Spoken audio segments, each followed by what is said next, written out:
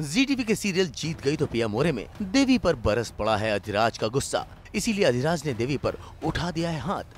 दरअसल मासा की चाल कामयाब होती नज़र आ रही है। अधिराज को उन्होंने पूरे कॉन्फिडेंस में ले लिया है कि मासा के खाने में जहर देवी ने ही डाला था।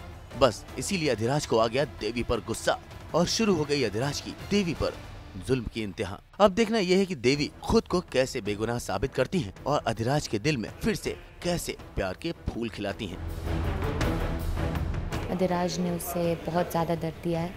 मासा के खाने में जहर जो है मतलब मासा के खाने में जहर था और उसका इल्ज़ाम देवी पर लग गया है। खाना देवी ने बनाया था, परोसा भी देवी ने था और इल्ज़ाम भी देवी पर लग गया है। तो बहुत ज़्यादा Devi is moved and like she doesn't know what to do कश्मकश में है वो कि अपने आप को इनोसेंट कैसे प्रूव करे।